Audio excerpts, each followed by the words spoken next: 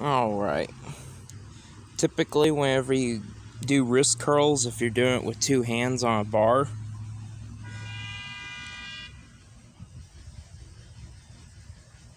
white dodge, um, you can't exactly move your wrist all the way. You're kind of restricted. So, typically, I like to grab the end of a bar like this at the end, I get more of a full range of motion. It's kind of more natural for the wrist too, the bar, how it rolls.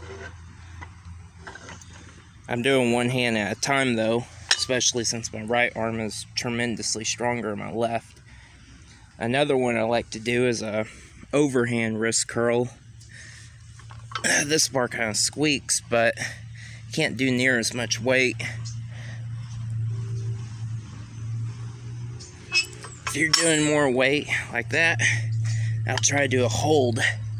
So I'll just hold my wrists in a straight position so long before it gives out.